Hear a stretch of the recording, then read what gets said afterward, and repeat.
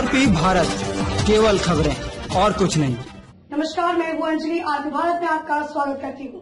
तो चले चलते हैं आज की किसी मुख्य खबर की ओर। देवघर ज़िले के मधुपुर अनुमंडलीय अस्पताल अपने आप में कितना बीमार है इस बात का अंदाज़ा लगाया जा सकता है कि अनुमंडलीय अस्पताल होने के बावजूद भी यहाँ पर महिलाओं के प्रसव कराने के लिए महिला चिकित्सक एएनएम के भरोसे कराया जा रहा है। प्रसव या तो फिर ज़्यादातर लोगों की मजबूरी में निजी अस्पताल की ओर जाना पड़ता है।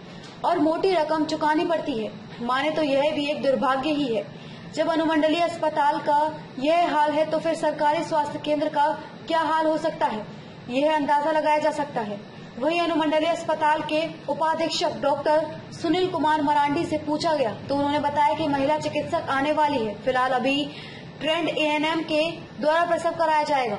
अब देखने वाली बात है कि और कितने दिन अनुमंडल क्षेत्र के लोगों को महिला चिकित्सक का इंतज़ार करना पड़ेगा। देवघर से इम्तियाज़ अंसारी की रिपोर्ट। अभी प्रसव है।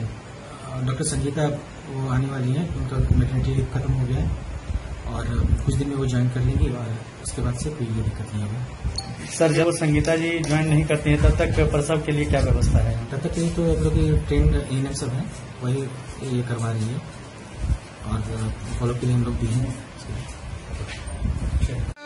डेली मानिए छः सात ट्वेंटी फोर आवर्स में हो जाता है। कभी कभी दस भी होता है। तो यहाँ पे अगर तो हम लोग देखते हैं और सर लोग रहते हैं हमारे साथ। तो